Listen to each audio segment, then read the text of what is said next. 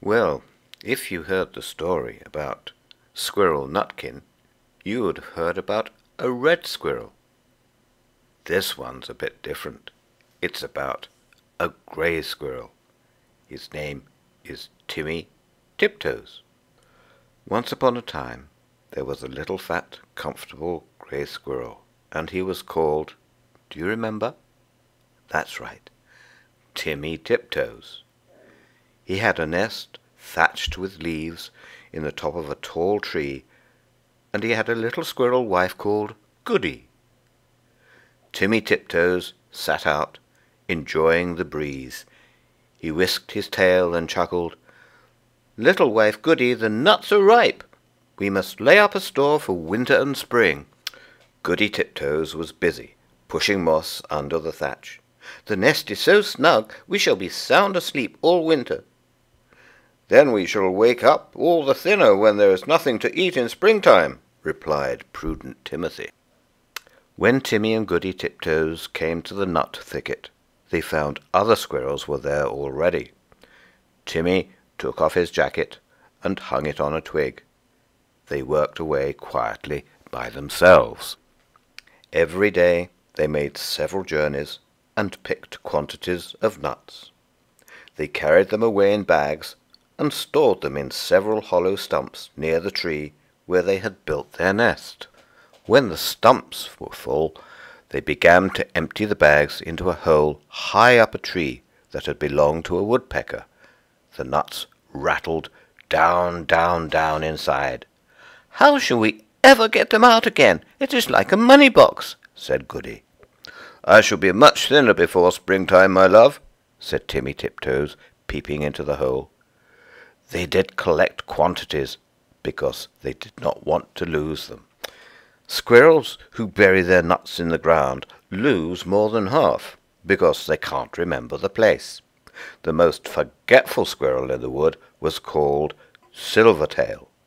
He began to dig, and he could not remember. And then he dug again, and found some nuts that did not belong to him. And there was a fight and other squirrels began to dig. The whole wood was in commotion. Unfortunately, just at this time, a flock of little birds flew by from bush to bush, searching for green caterpillars and spiders. There were several sorts of little birds, twittering different songs. The first one sang, Who's been digging up my nuts? Who's been digging up my nuts? And another sang, Little bit of bread and no cheese, little bit of bread and no cheese. The squirrels followed and listened. The first little bird flew into the bush where Timmy and Goody Tiptoes were quietly tying up their bags, and it sang, Who's been digging up my nuts? Who's been digging up my nuts? Timmy Tiptoes went on with his work without replying. Indeed, the little bird did not expect an answer. It was only singing its natural song, and it meant nothing at all. But when the other squirrels heard that song, they rushed upon Timmy Tiptoes and cuffed and scratched him and upset his bag of nuts. The innocent little bird which had caused all the mischief flew away in fright. Timmy rolled over and over and then turned tail and fled towards his nest, followed by a crowd of squirrels shouting, Who's been digging up my nuts? They caught him and dragged him up the very same tree where there was the little round hole, and they pushed him in. The hole was much too small for Timmy Tiptoe's figure. They squeezed him dreadfully. It was a wonder they did not break his ribs. We will leave him here till he confesses, said Silvertail Squirrel, and he shouted into the hole, Ha ha ha! Who's been digging up my nuts? Poor Timmy Tiptoes made no reply. He had tumbled down inside the tree upon half a peck of nuts belonging to himself. He lay quite stunned and still. Goody Tiptoes picked up the nuts and went home. She made a cup of tea for Timmy, but he didn't come, and didn't come. Goody Tiptoes passed a lonely and unhappy night. Next morning she ventured back to the nut bushes to look for him, but the other unkind squirrels drove her away. She wandered all over the wood, calling, Timmy Tiptoes! Timmy Tiptoes!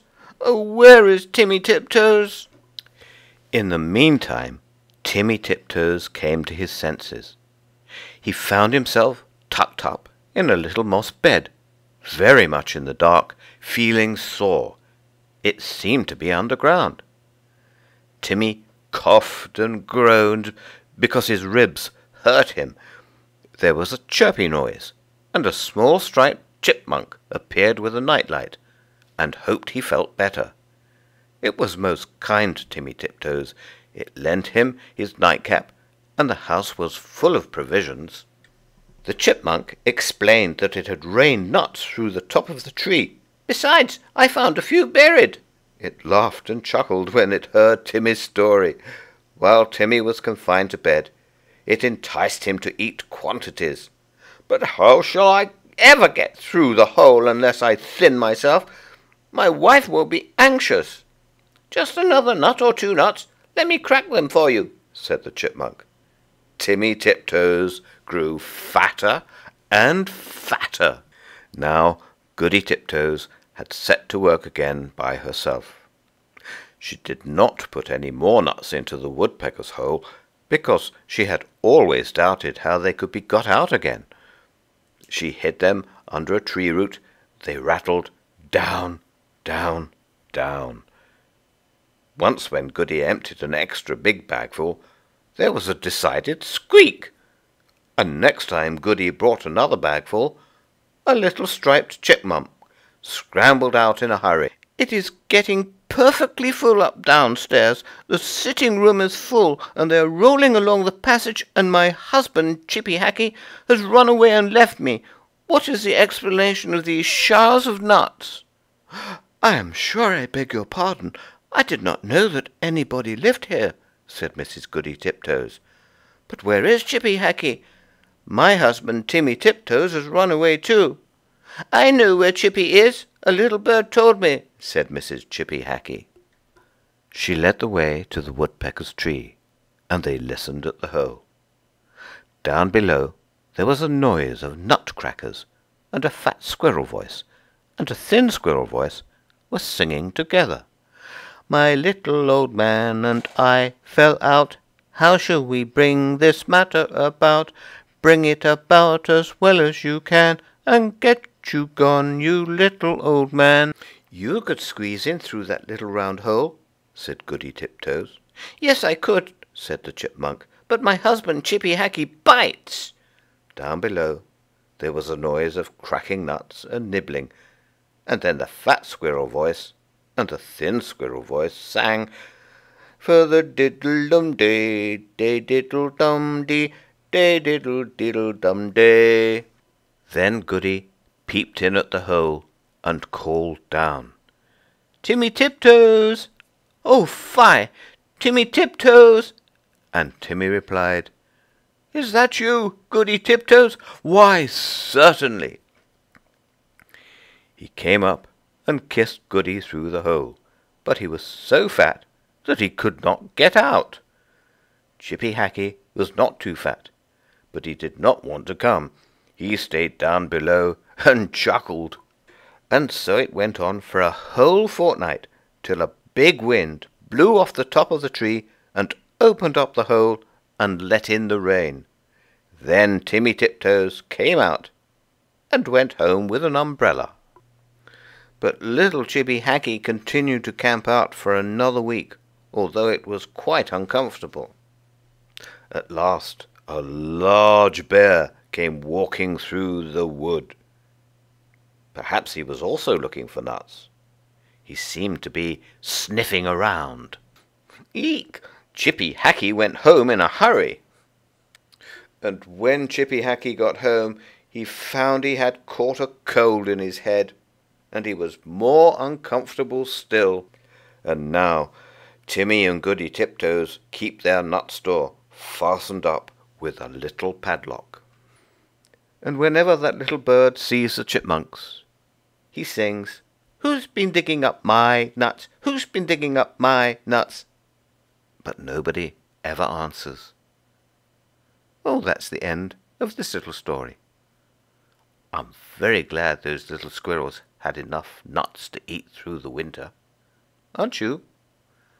Bye-bye.